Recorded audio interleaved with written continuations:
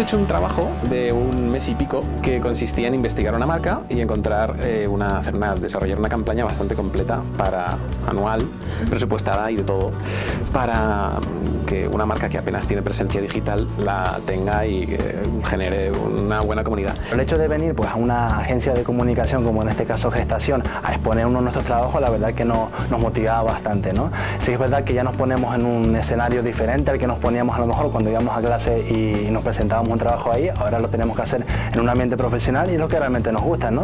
Y al final todos nos queremos dedicar al marketing digital y ha sido una oportunidad muy buena para empezar a soltarnos y a ponerlo en práctica. Esto es una oportunidad de oro para poder mm, ensayar, practicar, entrenar para, para, el día de mañana cuando lo hagamos en una empresa eh, siendo nosotros los trabajadores. Esto es una oportunidad de hacer una especie de ensayo para la vida real.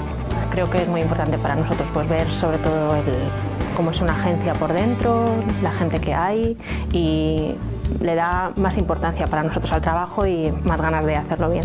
Bueno, yo creo que este tipo de ejercicios aporta a los alumnos una experiencia, una simulación de experiencia real, que siempre está bien teniendo en cuenta que la mayoría de los casos que presentan lo hacen en un entorno académico, con un tribunal, en un entorno controlado, conocido y cómodo.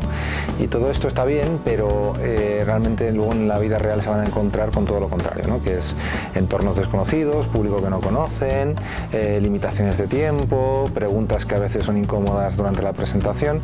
Entonces este tipo de, de ejercicios que se presentan en empresas reales les aporta un entrenamiento para este tipo de situaciones y luego cuando se lo encuentren en la vida real pues va a ser más fácil abordarlo.